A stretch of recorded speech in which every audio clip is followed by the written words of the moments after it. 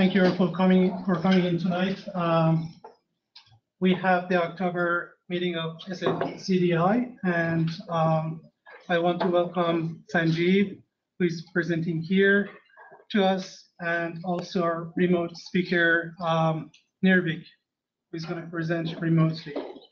Um, just housekeeping. Um, so if you want to get announcements about this FCDI, please um, register or sign up on our website.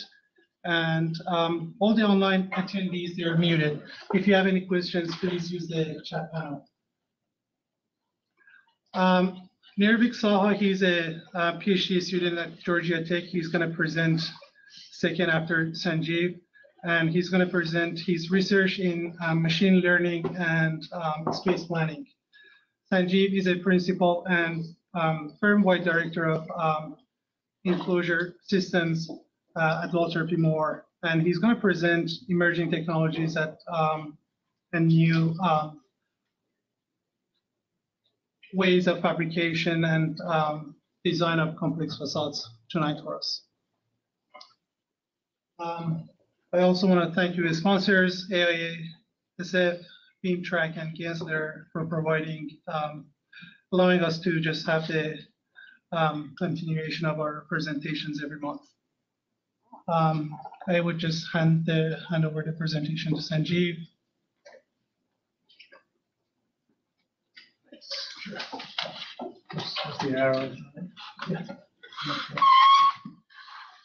Thanks for inviting me. Uh, really happy to be here. A turnout. Um, I gave this presentation uh, a few months ago at Facade Tectonics in Seattle, um, and uh, I think one of your colleagues uh, recommended uh, that I come and present to SF, uh, to SFCDI. Um, it's about how we work and sort of the dialogue we have as as we work on complex facade systems, and how my team works in terms of approaching design, uh, data, modeling, and how we sort of uh, communicate that to fabricators and constructors. We find a lot these days uh, uh there is uh, more and more dialogue between the design team and the construction team uh, through digital models. And so we try and ourselves control how that dialogue is held because especially for, for complex systems, there's a very fine line between success and failure. Um, it can lead to uh, massive losses or great projects with great profits. So um, a lot of the dialogue is really about data management. Um, so it's really about you know what programs we use, what software you, we use, and what are the different systems uh, that we use for collaboration. Um, 15 second plug on Walter P. Moore. Uh, we are a national firm uh, headquartered in Houston. Uh, we are uh, we have four different uh, practice areas: structural engineering, infrastructure, diagnostics, and technology. Uh, the facades enclosure practice sits in the structural engineering practice, so you can kind of see there on the that, that list on the top left. So structures, enclosure practice, parking, secure design, and construction engineering. Um, we have about 16 offices in North America and a couple of offices in Canada, one in India and one in Panama. So, but primarily based uh, in North America. Uh, the overall firm is about 650 people, of, of, which about 350 are on the structural engineering uh, practice.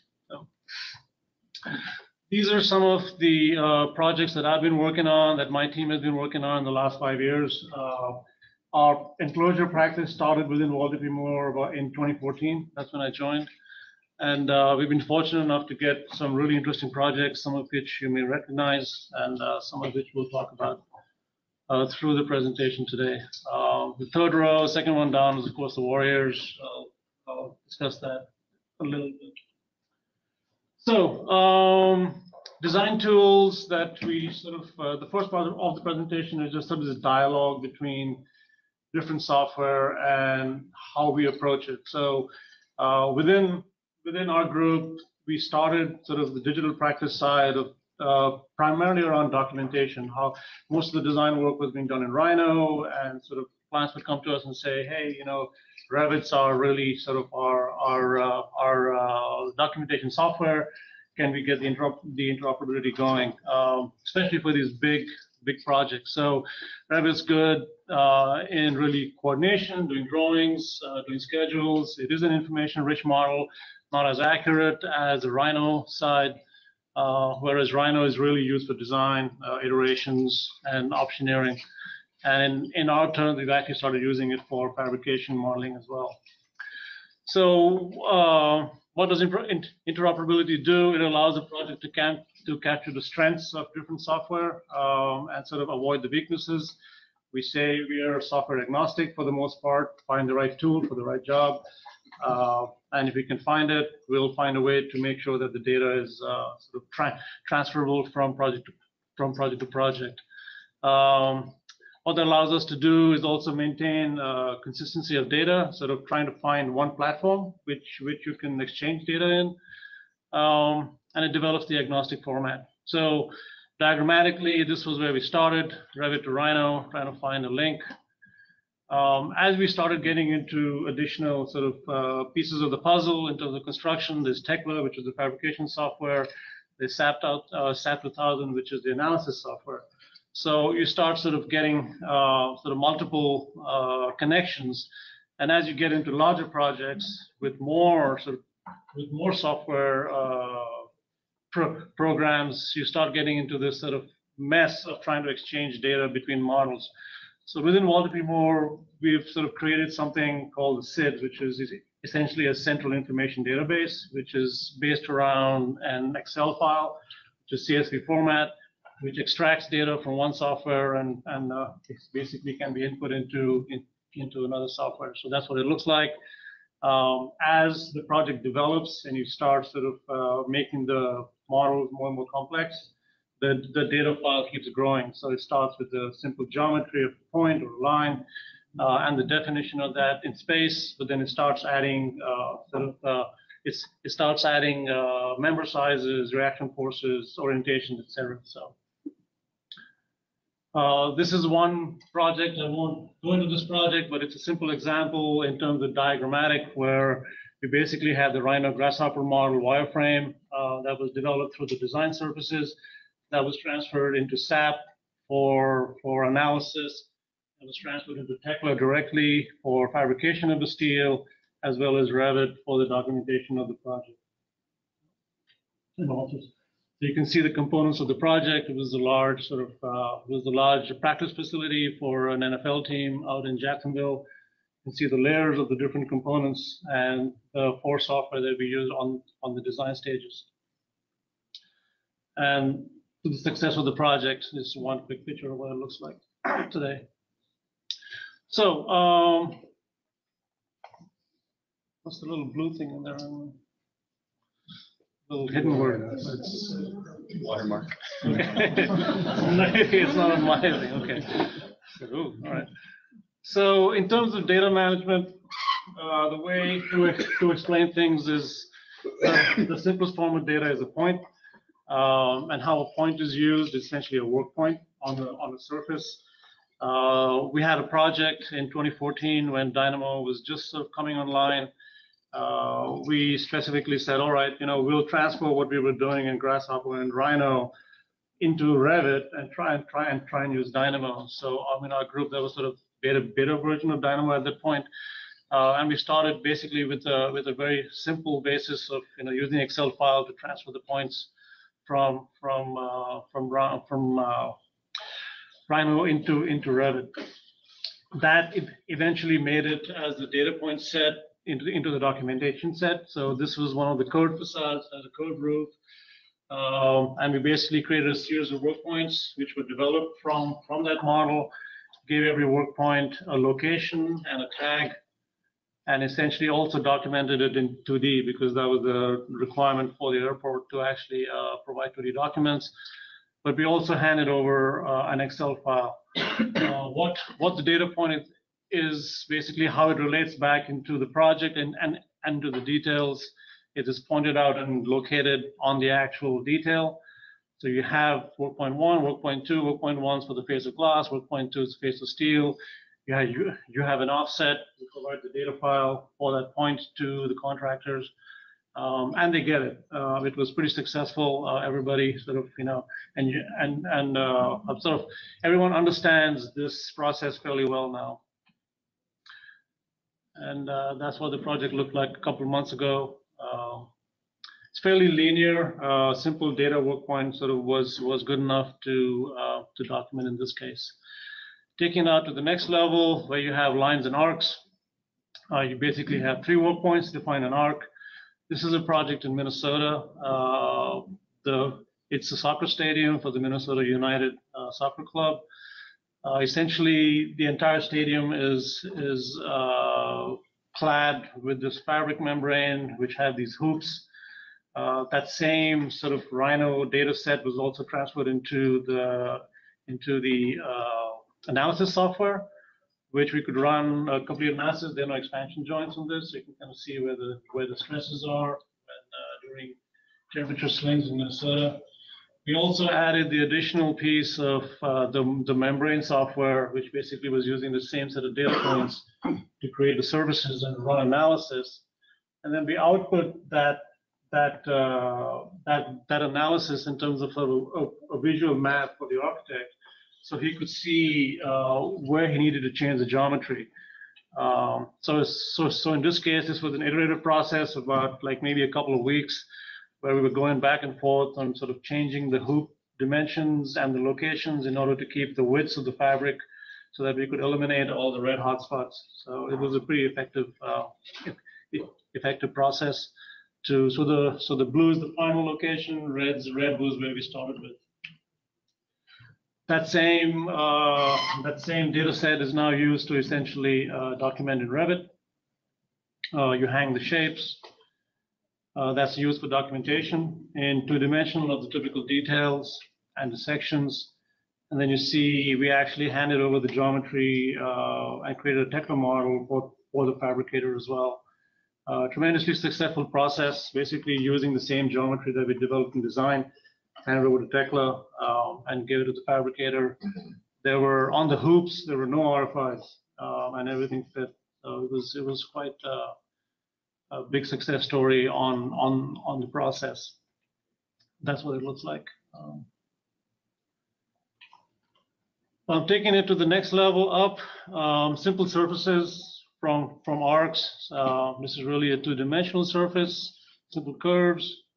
Uh, so the same project that I showed first with the data set, the roof was actually a sphere. Um, and we actually used the roof spherical surface and sort of noted all the structural top of columns uh, that were digitally transferred to to the fabricator, uh, and there was a digital model for so both the structural model as well as the facade model was basically using the same set of set of set, set of data. On the facade side, uh, we created uh, basically uh, adaptive components for the various curtain wall panels essentially the um, little uh, pointer here.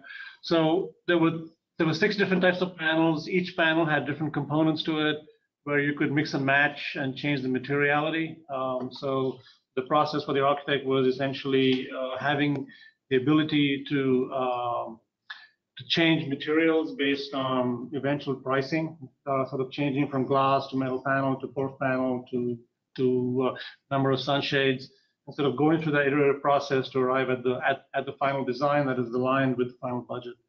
Um, you can see those four data points are the same as we showed in the in the first uh, in the first panel. So you're using the work points to create the adaptive component as well. And uh, that was the enclosure model.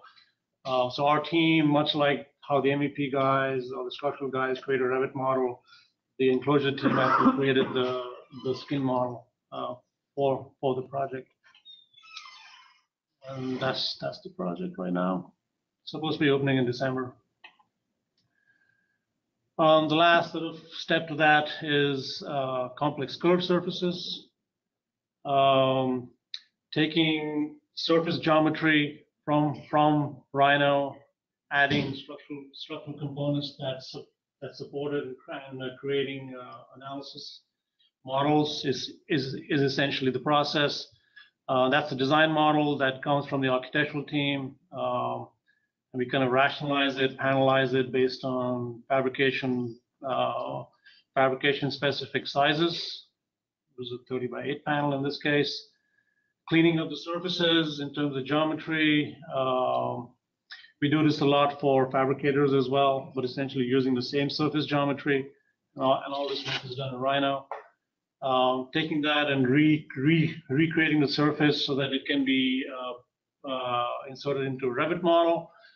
Um, and, and that panel basically has enough information in the Revit model uh, to be able to get data out of it, cleaning up the panels, and then basically tagging all the panels in Revit uh, as well as Rhino, and then having that data available as a mass family.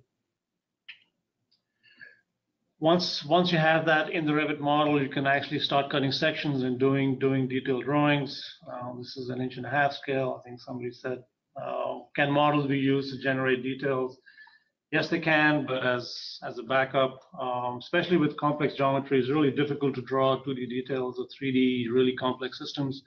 In this case, uh, we were actually able to do it and sort of get the relationships going of the primary structure, the secondary steel framing, and the actual section of the of the FRP. So, full. this is the FRP process.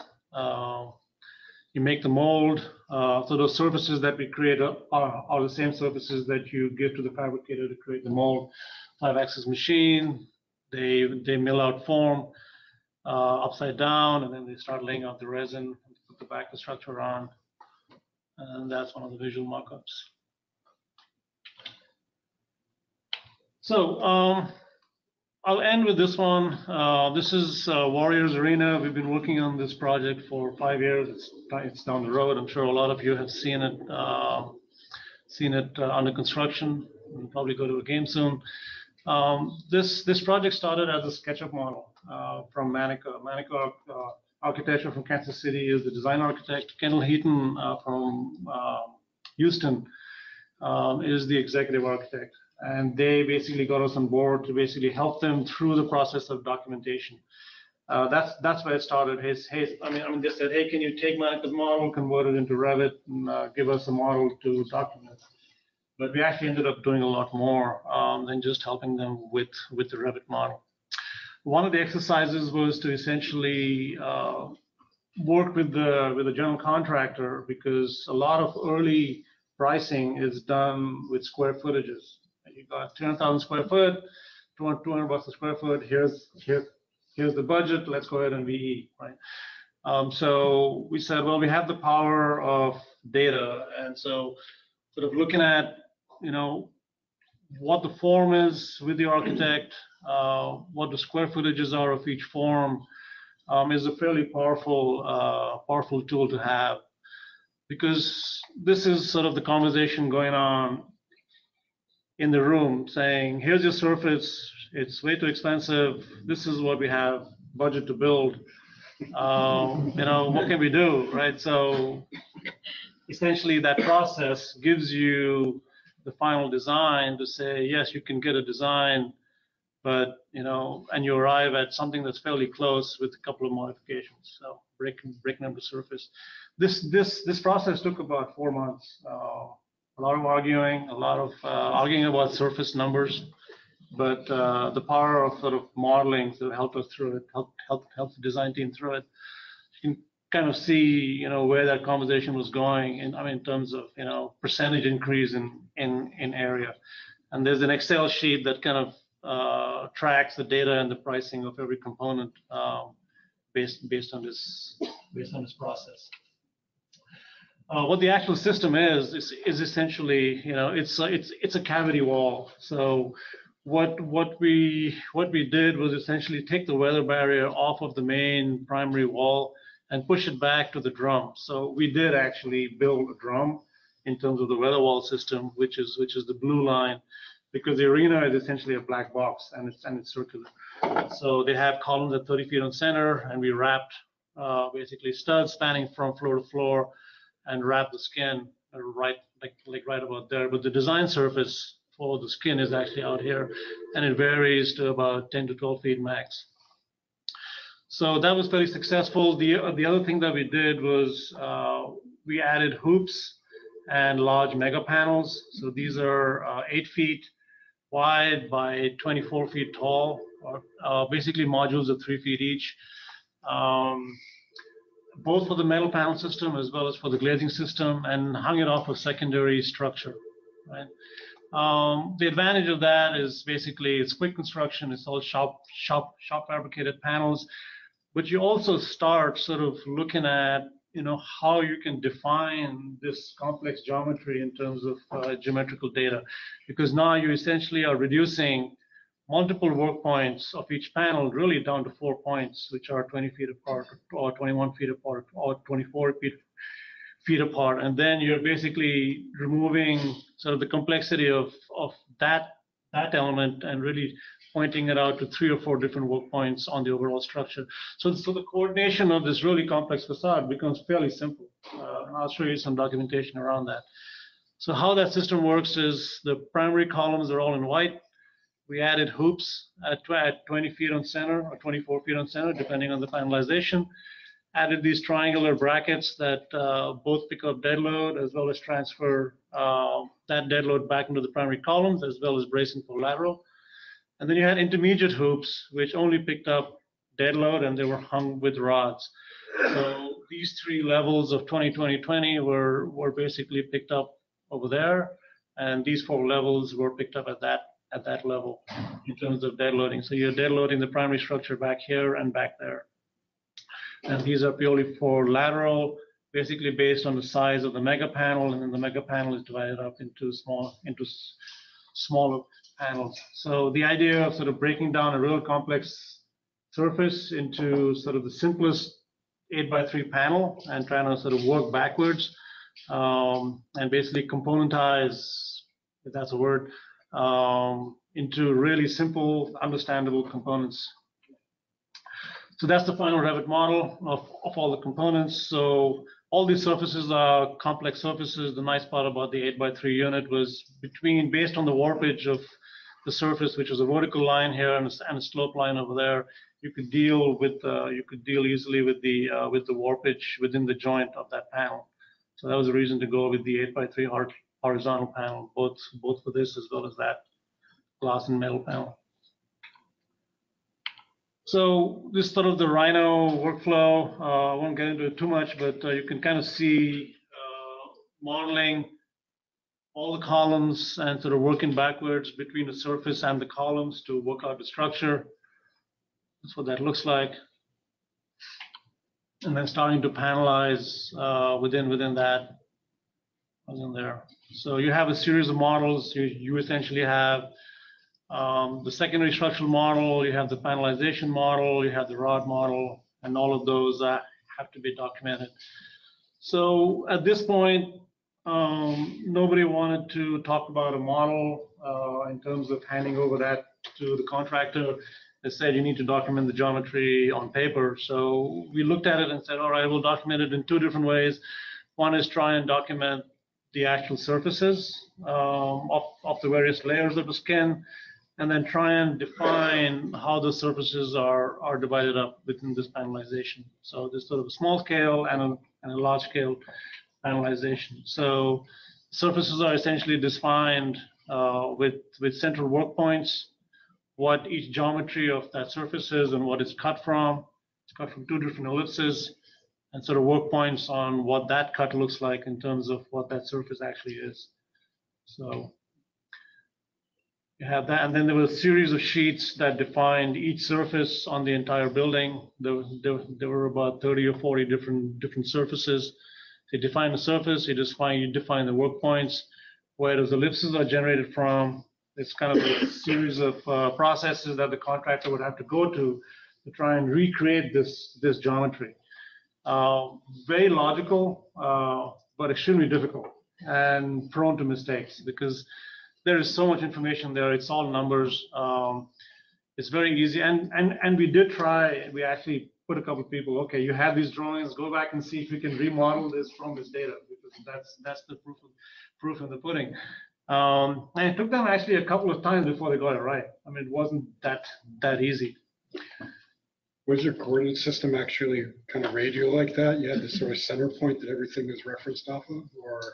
Yeah, there was, there was the basic zero, zero, zero for the entire project, and we used the same one for both that was being used for structural as, as, as, as well as the facade system. Would So- you measure things as X, Y from that point, or is it all about like angle and distance from the center point? The problem was that every, it's not just an X, Y, Z, because you have to create the ellipse at the right angle. Um, as soon as that plane shifts, if it, even if it shifts a little bit, you're, you're, you're, you're out of whack because the surface is off. So that's where we found most of the mistakes being made, that they couldn't get the actual angle of the plane. Uh, because it's easy to put a point in space, but when you start actually modeling it and twisting the angles, it starts getting really, really, uh, squirrely. So, but yeah, I mean, do, I mean, it's easy to find this point, but to actually generate both those two accurately and get the right plane, because they're not in the same plane. They're, they're all in, in, uh, in, in different planes. And they're not circles, they're ellipses, so it's like, it makes this sort of one more level of complexity. So, uh, and then the model was of course used to, to cut sections. Um, So this was the other part of, part of the documentation where we said, all right, you know, we'll, we'll at least document the secondary structure where, like where the work points are, so they can get the backup structure. They can basically, uh, because we had to submit reactions for all these points for, for coordination. So there was a second level. The entire building was divided up into four, into four quadrants. So we had four of these, these, these type of sheets. And then each sheet for the atrium to sort of really talk about the structure and where, uh, where the secondary systems were. And so taking it to the next level, trying to sort of define what those, what those components were. Um, got the project. For those of you who are not familiar, Enclos is a big national uh, firm, uh, curtain wall company, fairly, uh, fairly uh, decent at uh, digital modeling. Uh, They have a pretty good group. Um, They came back and said, there's no way we're gonna take these drawings and build the thing. We want the model. Um, More than the surface model, they said we want the panelization model, because even if they did manage to create the surface, they'd never get the panelization right to where, because this panelization took months and months to, to figure out the exact lines that the architectural team was, was, was really happy with. Um, so we had to go back to the owners and say, you need to pay the design team to do the model for the fabrication. And, uh, the nice part about sort of the story is that while we were developing all of this, we already had that data. So it wasn't like you were starting from scratch. Uh, I mean, you, you said, I mean, we knew that the fabricator was going to ask, ask for this model, even if, if, I mean, if it wasn't really a, a contracted document. Um, couple of shots of uh, the panelized, of, of the panels themselves, went through a number of iterations. Um, eighth inch aluminum panels, these are bird wires. Uh, I don't think they're going to stop any birds from getting in. Uh, But you have, you have to do it. Um, photographs, if you haven't been there, uh, fairly successful. I mean, I think in terms of uh, the process and the ability to transfer that model. Um, Again, there were almost no RFIs on the geometry. Um, It was a very, very clean, clean process uh, that sort of says that if you have a really clean model with good high, high, high fidelity data, you know, it's, it's, it's, it's, it's going to be really, really useful for construction.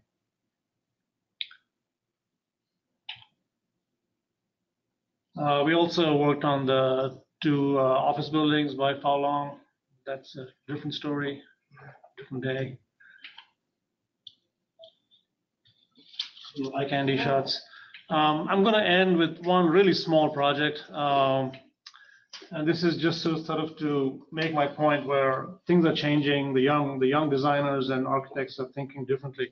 Um, these are two young UCLA guys who formed their own company. Uh, they had done this as a research project while they were at UCLA School, uh, basically using fabric forms to create uh, concrete sort of uh, this sort of this. They called it a shading structure. Um, so they submitted a proposal after they'd done this uh, once they finished school to the Amazon conference and in Palm Springs. And lo and behold, they got approved. Uh, said, yeah, go ahead and build this pavilion. And they came to us saying, oh shit, we got to now actually build a structure. So the process is essentially they're working off models. They don't they don't work off drawings. Um, It's direct model-to-model process, and fabrication is a robotic fabrication process. So um, they gave us this model, which is essentially uh, you know, something that, that that they created, and we started adding components to it. We used the same surface model uh, to do our analysis, and and and essentially mimic what like like uh, what they had done. Added uh, added all the various sort of connection pieces, and the point being essentially the first design model that they gave to us was really the model, and our job as engineers was to make sure that we can kind of validate that shape and help them essentially engineer these connections and help them engineer the actual Ys to make sure that, uh, you know, they have the right thicknesses. And then they went back and created the formwork out of uh, AC. So essentially each, each Y was, was, uh, was created with one, one fixed point and two robot arms basically moving the other two points. Uh, these these fabric forms were basically stitched from a translation of the 3D model, and they pour.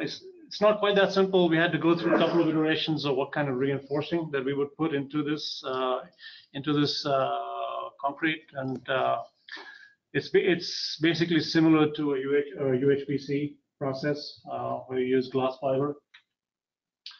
You see the boneyard, all of them sitting.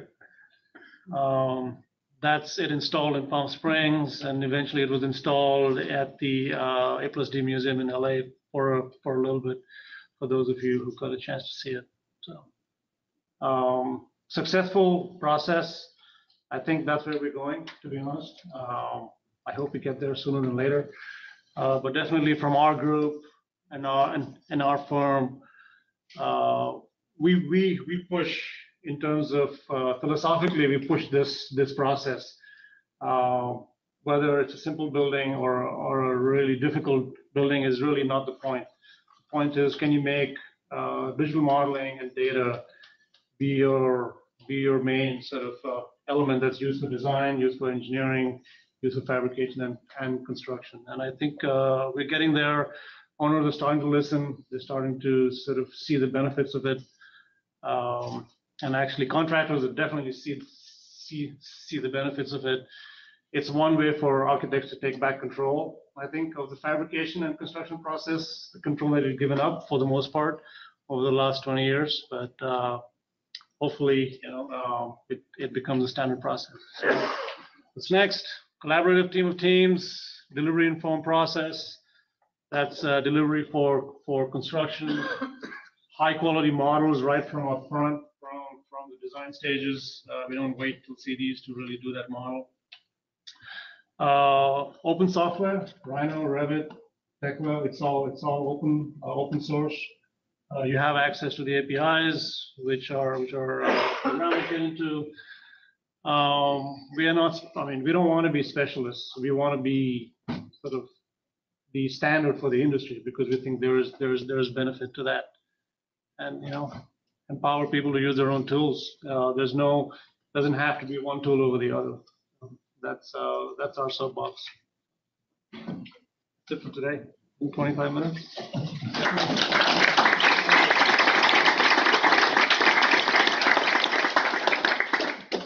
I have a question regarding the last project. Was the funicular structure, which was all compression or? It was all compression. Yeah. It was it was it was form found. They uh, they took a shape, basically turned it around Right. yeah, under uh, under uh, its own weight, forms a catenary. In terms of the CAD CAM process, that, you know, you have a model and you're gonna just fit the data to the machine for fabrication. I know that, you know, these days, you know, a lot of people are using Grasshopper and Rhino versus Dynamo and Revit. Which way you found it, the process easier to fit the data, or is it just, it doesn't matter? It's basically just, It doesn't matter what yeah, it's, it's, it- it's the SID basically that, that is, is, is the power in all of that data exchange, right? But in terms of design, it's all done in Rhino. I mean, that's, that seems to be the most, the software that everyone's comfortable in. Right. Um, Ten years ago, or- or fifteen years ago, it was CATIA, right? But CATIA is way too expensive. Our team has basically managed to extract the processes that they used to use in CATIA and we, and essentially use, use Rhino. So the thinking is the same in terms of process, but uh, the software is cheaper and more accessible to, to everybody. Uh, I mean, this was stuff that, I mean, I mean, I, I I always say one of the biggest contributions of Gehry is essentially, you know, this digital process more, you know, uh, kind of changed the way we think about building. Uh, so, But, you know, he has CATIA and digital prac, uh, but uh, Rhino is, is definitely the most powerful tool. right now.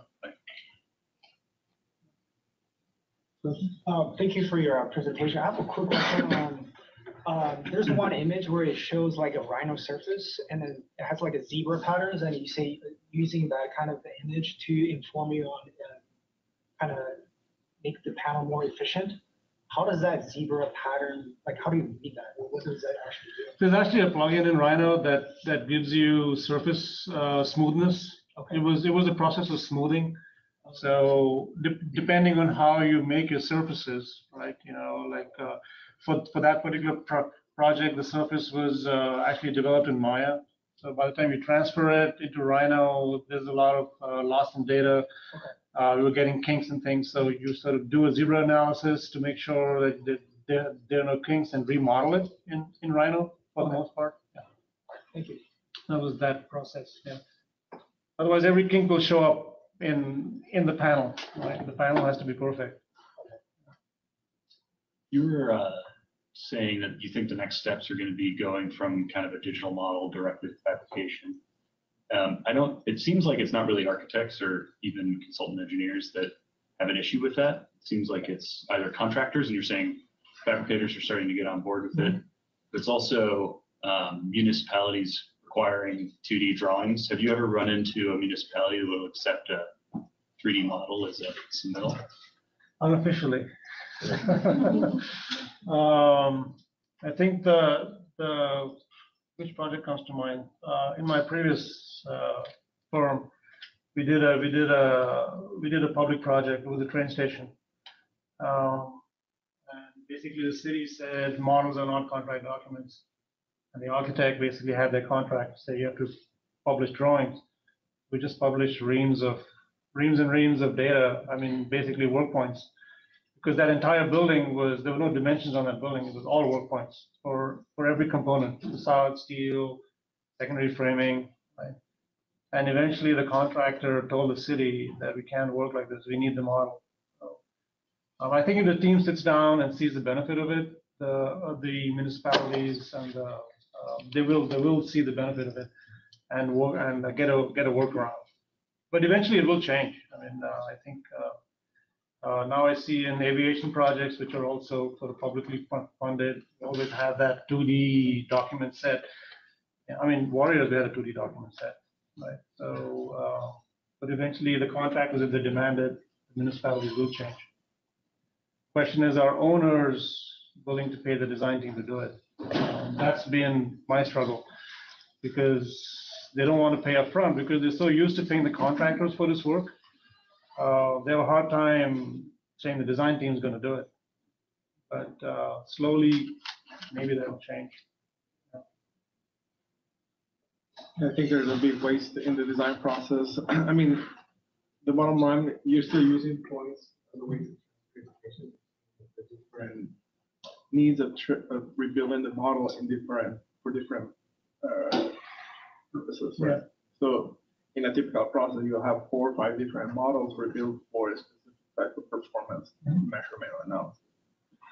Uh, And this idea that you can only model once and have uh, the model react to the input of multiple uh, inputs or the multiple disciplines, still a bit far ahead. I haven't seen anything that does that, that's ideally the, the goal, or have you seen anything that points? We used to, yeah, yeah. We used to talk about the perfect model. Yeah. I- Yeah, I, I don't think there's any such thing. Yeah. Uh, Because, I mean, you, you don't want to, it, I mean, one model doesn't fit a different software. So you have to have different softwares. You're going to have different platforms. Um, But the ability to have the interoperability is really what's, what's powerful.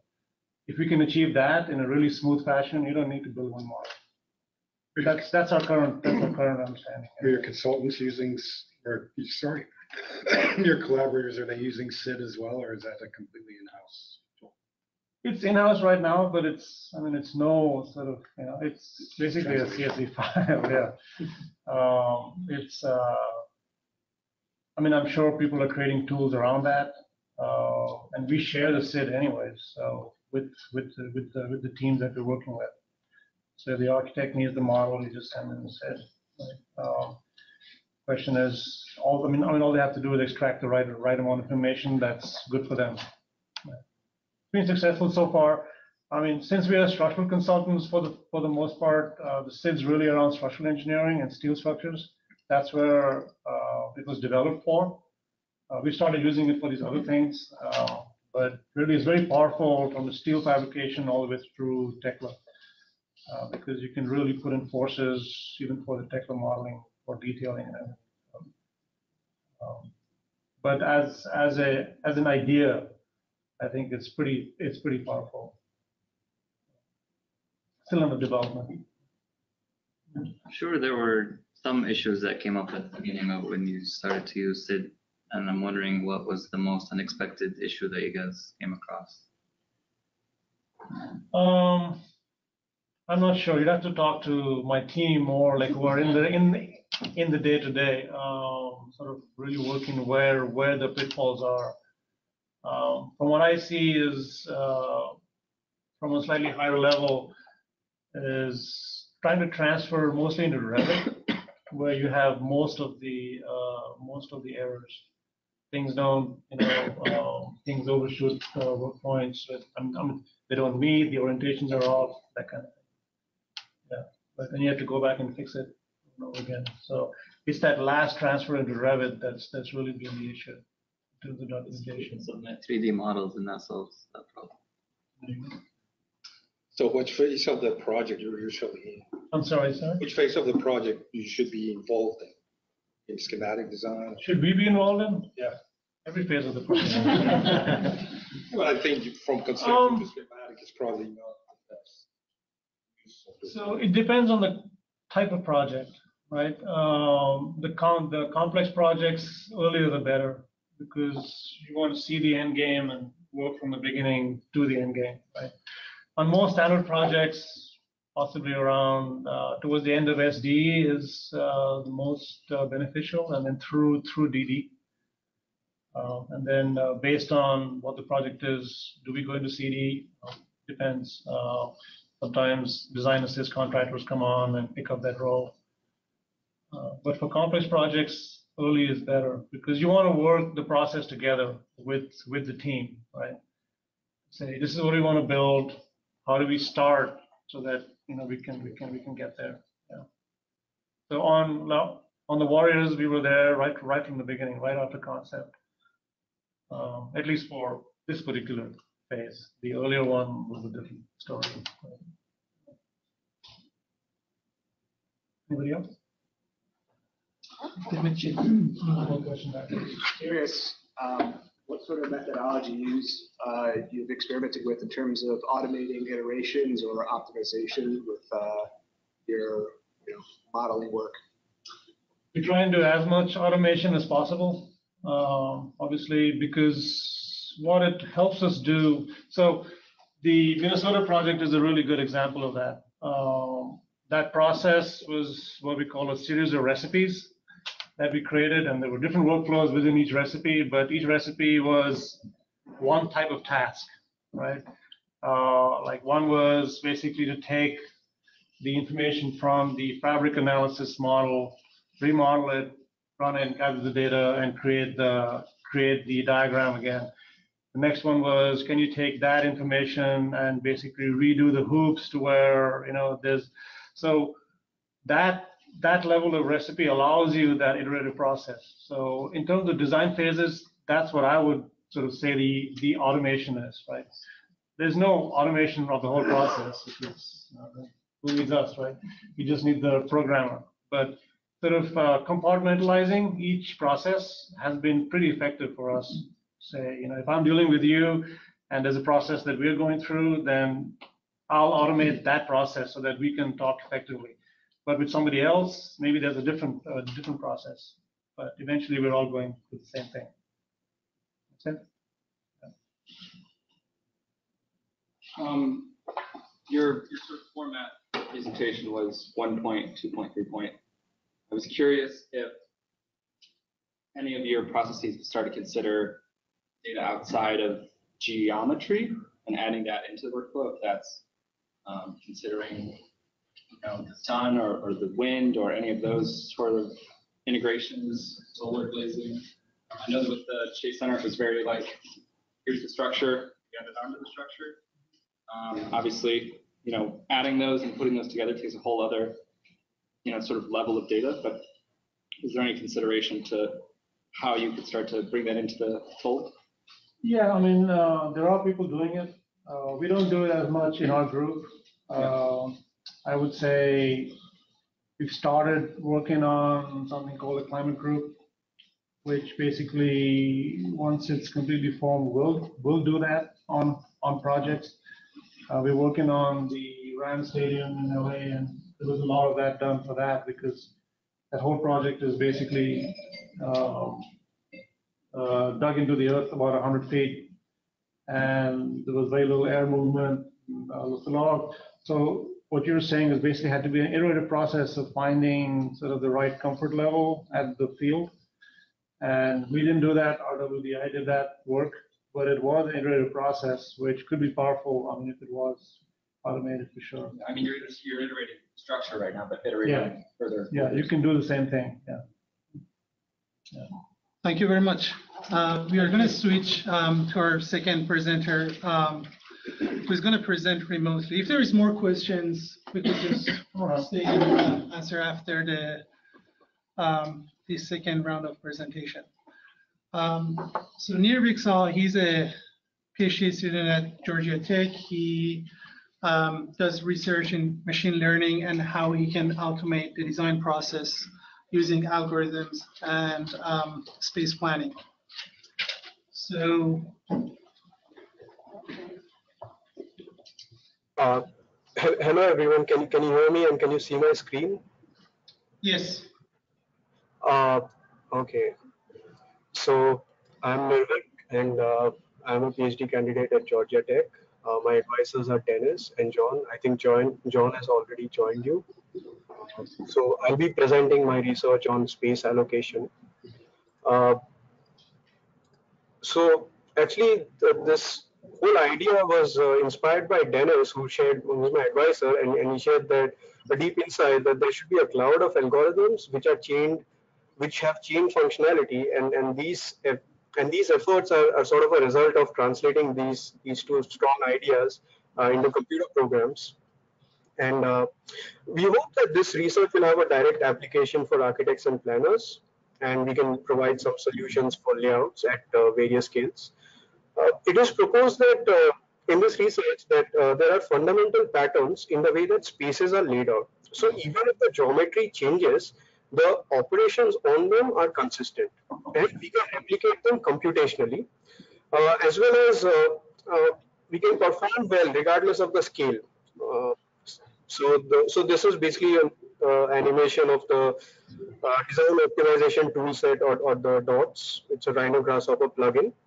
And it works on the basis of parameters of these patterns and parameters that, that alter them. So it is not a quantitative solution, and it takes into account the fact that every design project and design sensibility is different. Uh, okay, so so what are the challenges? Uh, so okay, so first of all, what is space allocation? It is the process of locating geometric forms of spaces towards specific functions. Now these are these have to be constrained by appropriate grouping and circulation requirements, uh, and they they will end up uh, and result in the generation of floor plans for a building or a urban layout. Now, space allocation problem was uh, formally described as a quadratic assignment problem in 63, in 1963, uh, and it was defined as, as a way to locate various facilities while minimizing the distance and cost related to flow supplies. Now, due to the combinatorial complexity of the problem, it is categorized as a NP-hard problem. This means that the the complete enumeration of layouts will increase at least exponentially with each increase in design requirements. And uh, just a few variations generated manually may not guarantee a suitable design option. So, so if you have just 14 spaces, then they will lead to 87 billion possibilities, right? Permutations. Uh, so if we consider prior research, there are four major approaches. The first approach starts with a tentative configuration, which is provided by the designer. And then based on discussions, an exhaustive set of equations are developed. Uh, then using these equations, we can plot, uh, I mean, the, the researchers plotted appropriate dimensions of the spaces. And this, this is all rectangle, rectangles. Now, these methods are sensitive to input, to the input sketch, and even slight changes can really disrupt the solution okay, because of the, the way the equations work. Uh, although, although this is very simple, the method provides a deep insight, which is that uh, space allocation actually has two problems embedded in it. The first is uh, topologically ac accurate uh, solution, which is the initial sketch, and then it has to be solved for geometric constraints. Okay. So next we look at a graph theory based approach. So this this actually approximates the initial sketch in the in the previous slide. Now, in this case, the layout is regarded as a directed graph with nodes as spaces and constraints as weights. So, that, so then definitely we have to uh, minimize the cost of graph traversing the nodes. Uh, alternatively, matching algorithms were proposed uh, and the solution was transformed by taking the rectangular dual of a graph. Uh, and it, it is sort of inspired by circuit diagrams and VLSI layout planning. Now, when applied to space allocation, there were some problems uh, because of the, the three-dimensional nature of the uh, of the initial circuit graph, uh, and and they didn't respond well to the topological constraints. Um, but it is but this graph theory uh, approach is important in terms of algorithms and data structures uh, because uh, contemporary algorithms are all based on on graphs and, and how we can now develop them. So the third approach that I want to show is the cellular decomposition. It is achieved by discretization of a uh, enclosed region into geometric units or cells. Now the cells are grouped to form spaces that satisfy desired constraints. Uh, it, and this is a very flexible approach. So uh, we can we can throw many algorithms at this, including rule-based systems such as cellular automata or L systems. Uh, we can have uh, heuristics such as genetic algorithms, simulated annealing, and so on. But there's a problem with this with this technique. That is that it, it totally ignores the geometry of the layout, and the uh, ultimately the the layouts, the architectural layouts will differ drastically uh, from the output which is generated by these elaborate tessellation algorithms and their constraints. But the idea of decomposing the internal region uh, and and the and the way the data structure of a cell uh, works is sort of similar to the graph-based approach, and uh, and and therefore it is it is still relevant. So finally, uh, this is a more recent technique perhaps, uh, and it, it is inspired by an algorithm to visualize hierarchical information structures or the organization of data in a disk uh, by Johnson and Shneiderman in 91. So even though this method is restricted to rectangles, it generates floor plan-like structures that are sufficiently realistic in the virtual environment for computer games. Uh, so while the aspect ratio can be controlled, the ability to generate rectangles with exact dimensions and uh, and also the, the constraints of proximity and circulation uh, that that uh, that was not demonstrated here.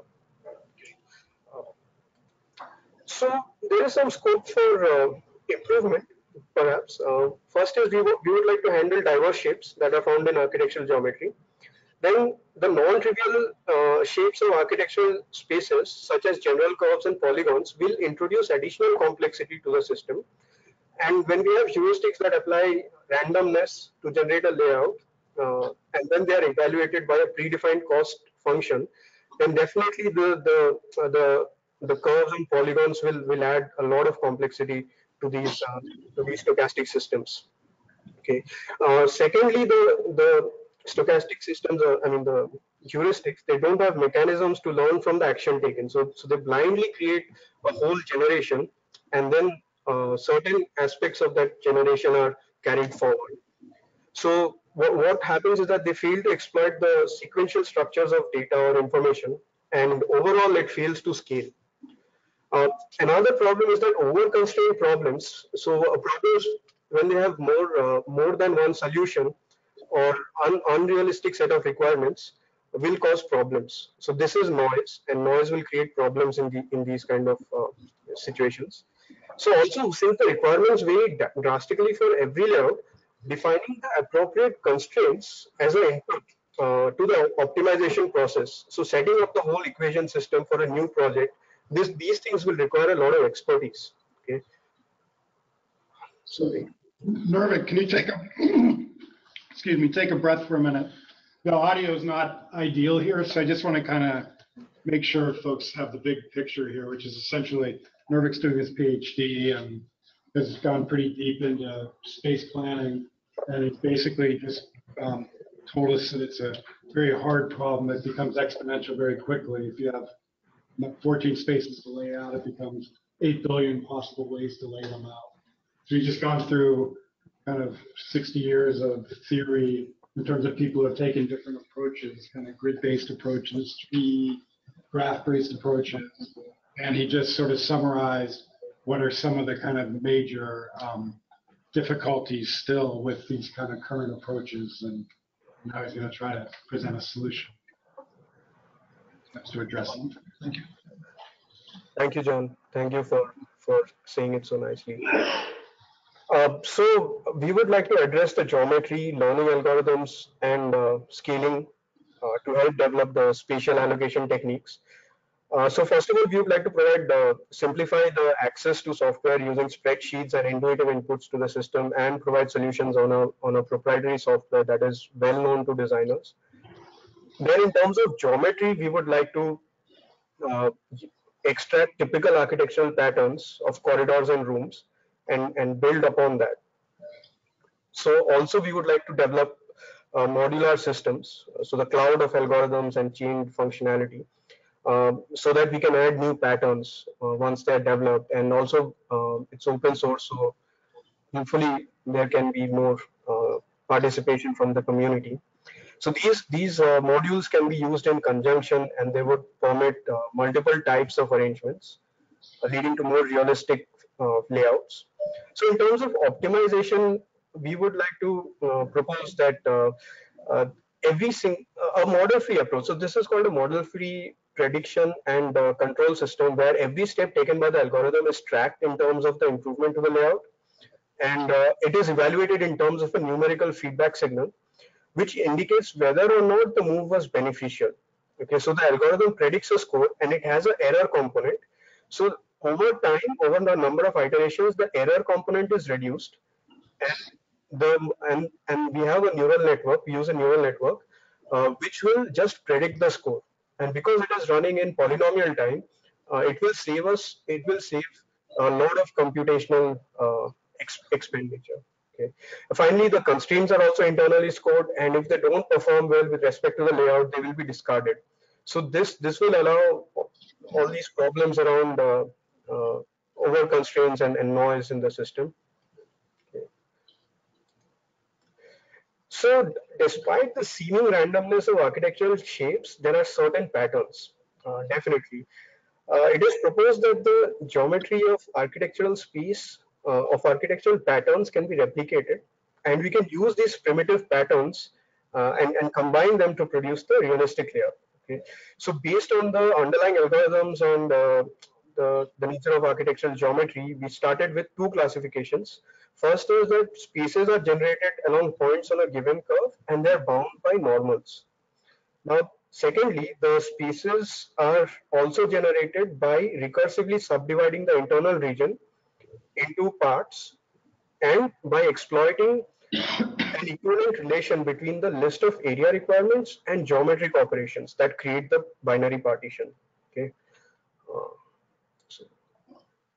so partitions of the internal boundary, uh, they can be used to, to separate the functional requirements of the floor plans. Uh, and we see this equivalence relation here where we have uh, L, which is the set of uh, area requirements, and we have a side boundary. Let's say, let's say we have a boundary where the sum of the uh, re requirements is equal to the area of the uh, side.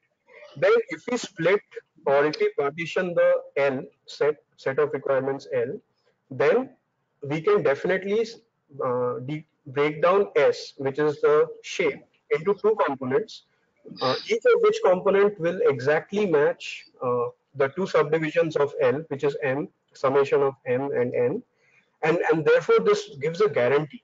Uh, so we, we can give a guarantee that definitely we have achieved the area. Then in terms of uh, matching this uh, this topological optimization, so uh, the nearest neighbors, uh, the way we have to group the uh, the spaces. So we use we use this algorithm at an intermediate level, where we where from the geometry modules we extract an array of locations, and we also have the array of uh, requirements. Okay, so what we would do is we would match the indices of the layout of the uh, places in the layout and the space. So once we once we start matching it, we don't have to create the geometry, and this will again save computational time and it will help scale the algorithm. Okay, so so the design optimization toolset or DOTS is basically the Grasshopper plugin, and uh, we are proposing that there is this procedural uh, geometric transformations uh, which, can be evaluated with logical arguments. And uh, primarily there are two operations which is subdivision and then placing the building or a spatial object in it. Okay in addition to the floor plan modules that we have seen so far a slight modification of them of, of those modules provides components for the site plan or urban planning uh, and there we have right now we have four mechanisms of generating the parcels. Uh, we can use the recursive subdivision. Uh, we can extend the segments of our internal polyline uh, or else we can have uh, place a set of regions in the plane by a exploratory process. And finally we place appropriate parcels along the periphery. Okay. so so this slide shows how the grouping is achieved. It considers the area required, number of types of spaces and favorable neighbors. So the Excel sheet captures the adjacency values. The positive uh, values denote attraction, whereas the negative values capture the repulsive force. And uh, the numerical value is the magnitude. So in this case, you can see that A and C should be together and E should be separated. So regardless of the geometry and regardless of the operation, we find that uh, the, the algorithm is, is actually able to uh, to solve the problem. Hey, Nirvik, Yes, sir. I'm gonna ask you to take a breath for a second again. Um, so he's just going into and explaining, um, a series of open source Grasshopper components. You guys already have uh, access to these and the invitation, was sent out, I believe. Um, and now go to the, the next slide, the one you were just on. And so he's now describing the inputs, and one is this matrix that you see up here on the right, which are essentially a series of spaces, A, B, C, D, E, each of which have um, adjacency requirements to each other. So that 20 means you want C to be next to A, and the minus 100 means you want E, you want all E's to be as far apart from each other as possible. And then you see these little tiny colored icons, the purple circle, sorry, the brownish colored circles in the brown square, the tiny ones. Those are the little components that will take this information and then do different kind of optimization layouts to them.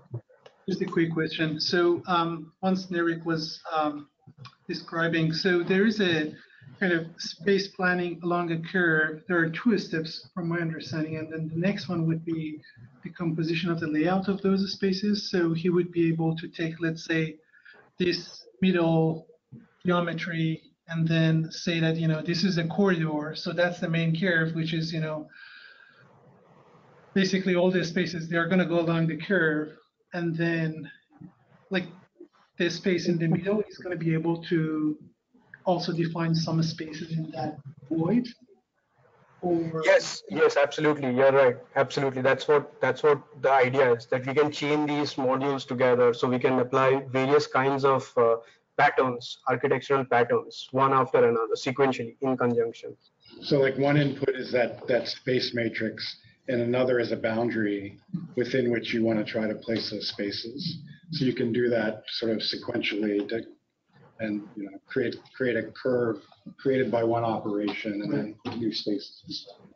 Correct me if I'm wrong, but you can see that here in the, in the third image, you do the outside, and then the fourth image is the inside of that space. Yep, yes, exactly, yep. Okay, so, um, moving on, John, do you have, do, do you want to No, say That's something? good. I think, you know, I just, Yeah. All right, thanks, John. So, uh, so finally, uh, this slide, I mean, we, sh- we saw how the grouping is achieved. Now, now this slide shows, these figures basically show the sample of possible boundaries and space allocation within them.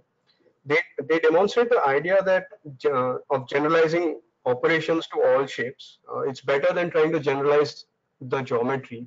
Uh, so, and, and this helps in scaling of course, and the inputs are provided by the Excel sheet as you can see. So, so the adjacencies are, are the A versus A, uh, and the area and numbers and ratios are, are the other set of uh, geometric uh, constraints that we impose upon the system. So, uh, so a, a, little bit, so there's so much talk about machine learning and uh, so a little bit about the sort of machine learning and how, how it really works. Uh, so in order to organize these multiple objective functions, first uh, a, a, model that represents various states or design variables are constructed. And instead of directly computing the cost of the edge weights, uh, discounted rewards are computed. Okay, so, so this will ensure that uh, there is no greedy optimization.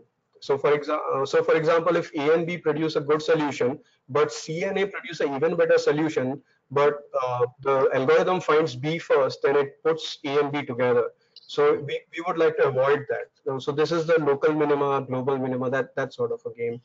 So in order to, we, we would avoid that with the uh, discounted reward function. So the table for cost, for the cost between any two uh, nodes will provide a reference uh, to reach the goal from any, any state. Okay. Uh, so, so that's why this would be preferable to a blind stochastic uh, or heuristic algorithm.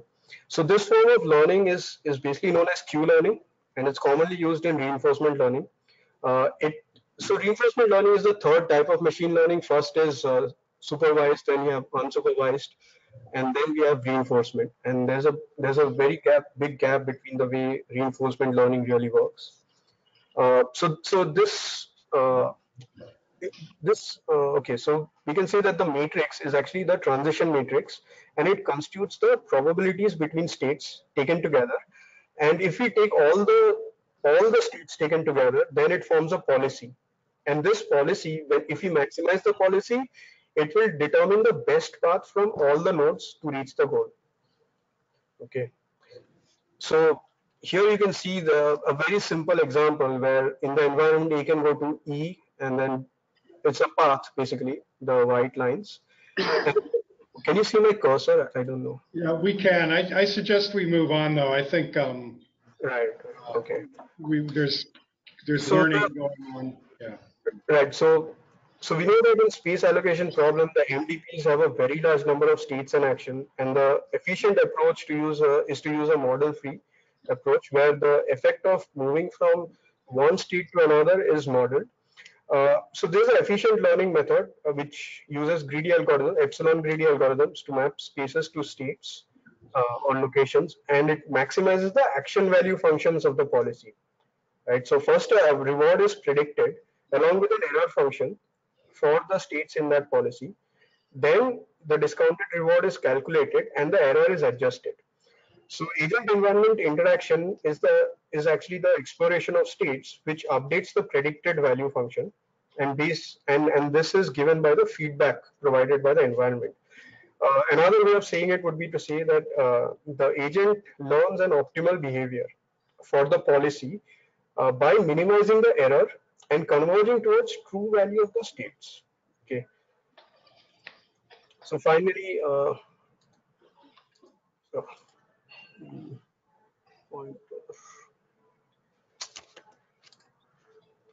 Right. So so now we get into the the way that neural networks can be used, and this is really important for scaling. So the space allocation is NP hard, but if we provide a candidate solution, then it can be evaluated in polynomial time. Okay. So then the the action that is used for space allocation is actually the relocation of the spatial object, which is also the changing of the state. Okay, and, and then we measure the uh, the effect on the la- layout by a feedback signal and uh, in this case, uh, it is given by proximity relations and access to cardinal direction. These are the two primary measures uh, that, that are calculated for the action on a space and its effect on the entire layout.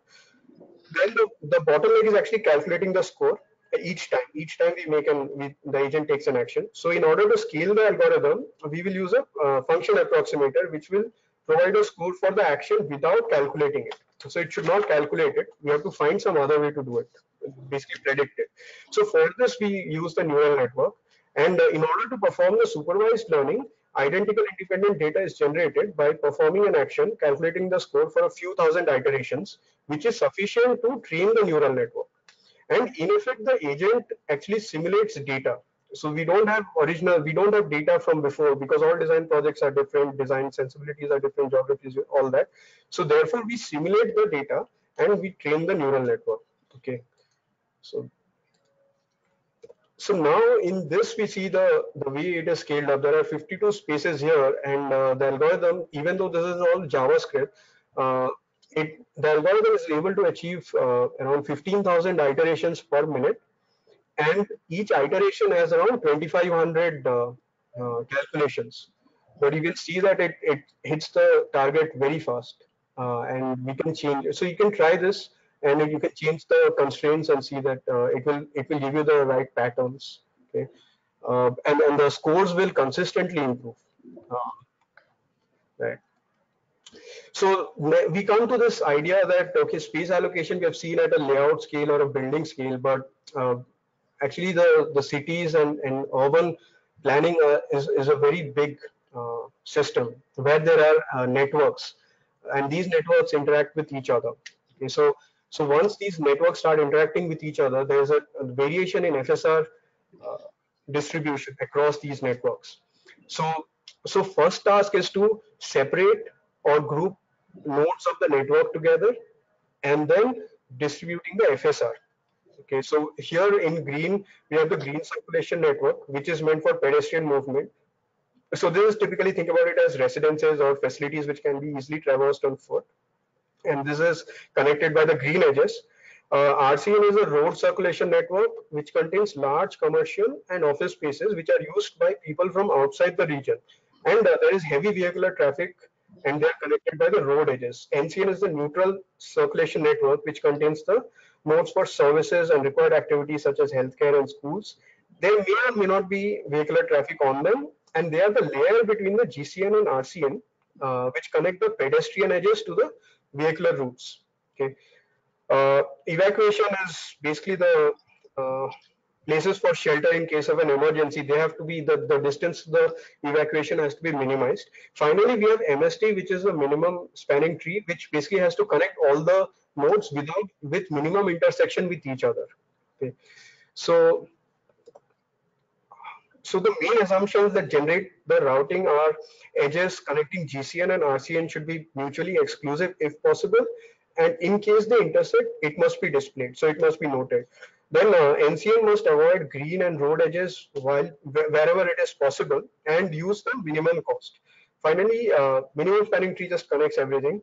And the evacuation is uh, the shortest route to all other nodes. Okay, so the, the illustrations demonstrate how the above mentioned uh, uh, design objectives can be can be achieved. So just to sort of summarize, there are two tools going on here. One is called DOTS, has these, and basically the same basic algorithms are underlying both of them, but used in different ways and packaged up differently.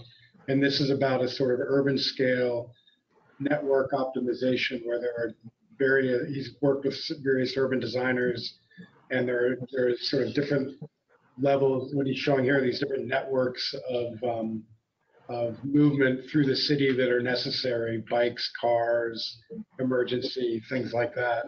And then the ways that you can then layer on top of it the generative system to look at different um, building constructions on top of it. Thanks, Joe. There's a link that you, what you're seeing here being done is um, you can go and play with the, the tool yourself and understand kind of how the algorithm. What's the interface? This is- Interface?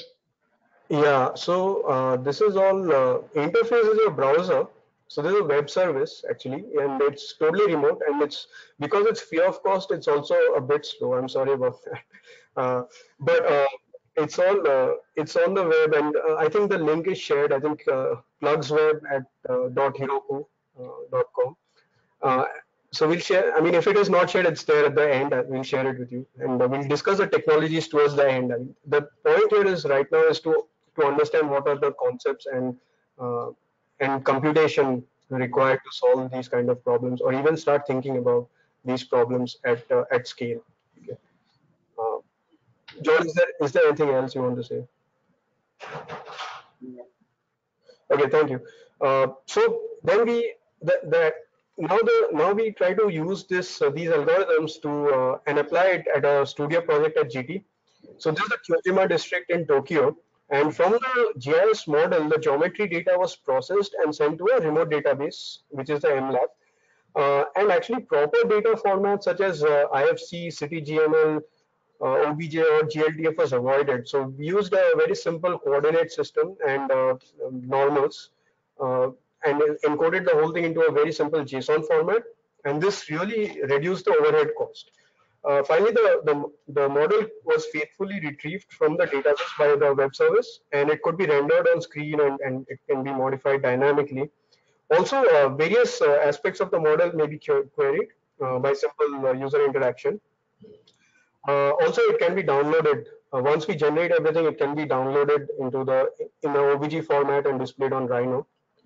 Uh, so two, so now for this project, we are showing just two, two different models. The model on the left-hand side uses the building footprints and distributes FSR over the network. Uh, and uh, it can be controlled by the, uh, by the GUI. Uh, the model on the right-hand side extracts the regions between the street and it applies a tessellation algorithm to the region. Then it decomposes it, which basically decomposes it into parcels and then buildings are placed on the parcel. Now, the model can be controlled by various parameters such as for tessellation, then centrality disposal of open space, uh, node types, clustering, uh, then uh, FSR distribution of the node types, uh, sending and retrieving to databases. Uh, then there is some concept of interoperability about data exchange between Rhino, GIS, and and the web service. Okay. Um, so finally, we just I just want to summarize the whole thing. So space space allocation is the process of designating spaces towards specific functions along with uh, an appropriate grouping and circulation to generate floor plans for a building or urban layout. Uh, it is a, it, we may consider it to be a objective in the practice of architecture and planning and hopefully th there can be practical applications of this research. Uh, the, the generation of this floor plan or layout has eluded automation due to combinatorial complexity. Uh, and in this research, we have proposed some methods to generate uh, the plans based on characteristic patterns of uh, layouts. Uh, then we have applied reinforcement learning methods to guide geometric operations that generate the components, spatial components, and also ensure the topological optimization. At an urban scale, there are additional constraints in the form of interaction between networks. And finally, we use uh, we separate the networks and distribute FSR uh, along the nodes and edges once we have separated them and, and classified them all together. So, so DOTS was built uh, during the summer internship with John, who's also advisor. Uh, please feel free to provide feedback and comments. This is a work in progress and we are focused on research than actually uh, industry tool. And there, there are a lot of bugs. Uh, definitely, would like to address these issues and develop more modules. If you have any comments or feedback for me, uh, please feel free to email me. In case and in case you would like to see some features probably we can we can uh, integrate uh, join our efforts. Thank you. Thank you.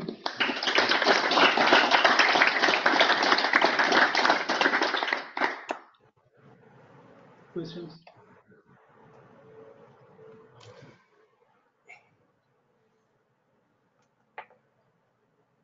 So, uh, John, this is it.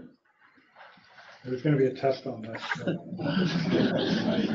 I mean, all this is an attempt to uh, for, uh, decipher the formula of traditionally intuition, the intuition of, of, of architecture, or the unspoken rules of architecture. Um, they are um, successful to a certain extent. But the whole notion that a computer might sometime um, this for us, uh, how far are we from there? Yeah, yeah, I don't know. And I don't know if anybody was here um, or remembers when, when this was DUG, SF DUG. Um, we had a, um, another student named Subhajit Das present something called Space Plan Generator, which was like a, Two years ago. two years ago. Um, and, you know, this is sort of learning from that and going to the next level. And, um, I mean, I think what, uh, what's exciting about Nirvik's work is, you know, with Space Plan Generator, somehow it just, what, it, it was really interesting and it would sort of, it would somehow inspire some designers a bit to maybe think about the project a little differently, just to kind of generate a bunch of stuff. We could never kind of, um, em- em- embed all of the, the sort of unique logic of the designer in a way that we just couldn't, you know, we weren't getting there with Space Plan Generator. So Nirvik is sort of, you know, it, it seems to me taking a real step back into the some real fundamentals, and the, particularly with this idea of dots. Um, you know, there are these components that encourage you guys to try them, where you start to lay them out into these different workflows, and you may lay out four or five or six different sort of sequences of dots, which kind of describe a slightly different design logic. You know, I'm gonna, I'm gonna um, explore different uh, uh, locations for how the street can enter the site, but I'm gonna fix this part to always be in this location. And that could be like one design sort of party, and then another one might kind of invert it and say, I'm gonna keep the streets, you know, uh, static, but explore where the park might go or something. And so you can start to kind of iteratively define this sort of logic and then work with the computer um, to, to explore different alternatives. And it's um, one of the real surprises for me in this research was kind of tight integration of optimization with generation. Um, I still haven't fully got my head around what he's doing there. But like, you know, usually you know, with space plan generator or something, you, you generate a space plan and then you create a whole bunch of analyses of it.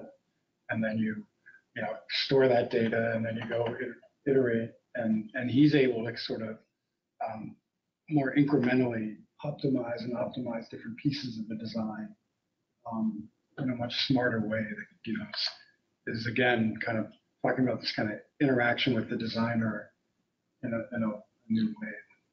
Just kind of trying to figure out. To break it in pieces and optimize the individual, tackle individual uh, areas based on the choices that the designer tells the computer to do.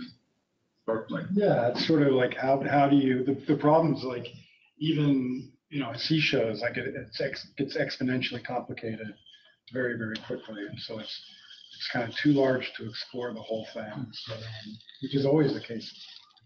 So we have this great like innate ability to, to, um, to sort of decompose the problem and intuit like smart locations to start.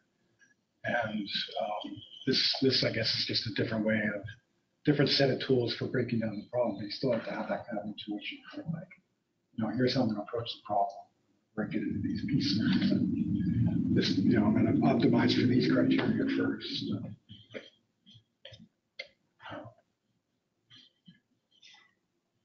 I'm actually curious, I'm- and I'm sorry if I missed this uh, when I stepped out, but um, was there a layer of uh, upcodes or something that's connected to city codes and uh, automatically embeds the zoning criteria and all that stuff?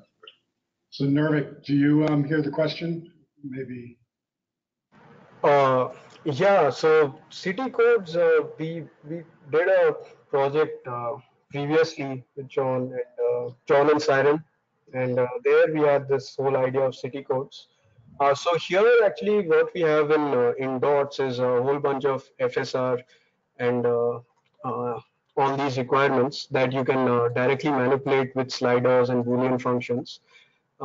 It, it is also possible to feed in these this information from a from a extra from a file outside. I don't know if you, if you can see my screen, you can see that we have all these things, uh, floor space, ratio, maximum height, minimum area, open space requirements, setback, step back. So all, all these are, are basically procedural constraints. They, they're not that tricky. So they, they don't contribute to the complexity of the problem as such. So they can be generated while we generate the geometry at the last step, then at that point we can incorporate this, these kind of objectives. Uh, so that's why we have included them in the procedural uh, geometric construction constraints. So definitely city codes, as you asked, yes, definitely we have done some and there is a lot of scope. Uh, this is just work in progress. It is a proof of concept to get the PhD and uh, we'll see how far it goes. Thanks, Mark. Very good. Your question? Like no, not specific codes, but sort of. But, but it sounds like you have to still like kind of manually enter in like the setback and the maximum height. Yeah, we don't have this sort download Toronto city code and automatically. But there's, there's the, product I don't code. know if upcodes is the only one, but there's probably, That's what I you- wonder if he got, if like, if this is able to connect to it and kind of collaborate in that way, I don't know. Open source and online, go tell us. How long has this research been going on for, for this particular? study? So Nirvik, the question was, how long um, have you been doing this? Uh, I think 2016 spring. So uh, now it's 2019 fall, so it's uh, two and a half years, so almost 2.75 years, I, I would say. But you, you came to Georgia Tech um, kind of already running, and he'd already been doing a lot of generative stuff when I met him in 2016. Yeah. And, and what's the background in terms of your studies before coming to Computer science or architecture, like how, how did you came to know? that There's so much information and, uh, I'm just curious, what, what what did you study to get you to? So I went to art school before coming to Georgia Tech, uh, and I got really frustrated because uh, it nothing nothing seemed to make sense. The theory was uh, so the theory that I studied in school was uh, truths of nature, and then in art school I found that uh, uh, the the theory of architecture and, and art seemed to be opinions, more opinion oriented, and and that's when this whole idea that of generative components, I think around 2010, that there was so much, Zaha Hadid uh, became very famous uh, with all the coding and uh, Mel script. I, I don't know if you guys remember, but there used to be Mel script uh, back then, which was very popular. And, and there was a lot of exploration based on that. So there, there were these uh, really amazing CAD professor uh, at, at Glasgow School of Art, Professor Hannah Reid. And he sort of and uh, and then grasshopper came out at that point grasshopper and processing also came out at that time and, and then he sort of pushed us in that direction that uh, there's something happening in cad you guys should really focus on that and somehow that that that sort of view. uh, but the but the background is art more art than actual computer science But he's in a, a program now at Georgia Tech, which um, uh, I'm not gonna say it's the only one, but it's a, definitely a good one in terms of the application of uh, computational modeling to the built environment. Run. It's a, it's a uh, group called Digital Building Lab, um, run out of the College of Design, but integrates like lots of different departments at Georgia Tech. A lot of computer science students. So they do they do a lot of this kind of research. Thank you. Are there any parallels to the work that's been done from WeWork, you know, on the dot section in terms of interiors? I know there's been a lot of optimization processes being, being done over there, so. Yeah, I, I think, I'm gonna speculate, um, I know like Daniel Davis and some of the other folks. And, um, Nirvik laid out this kind of, uh, um, history of space planning of 60 years, if you remember that, and one of them was this kind of grid-based optimization approach, where you can like put stuff in different parts of the grid and then run an optimization loop on top of that. My guess is they would do a lot of that stuff for their like workplace planning. Does they it have those specific modules that? Yeah, it doesn't need to be any more complicated than that.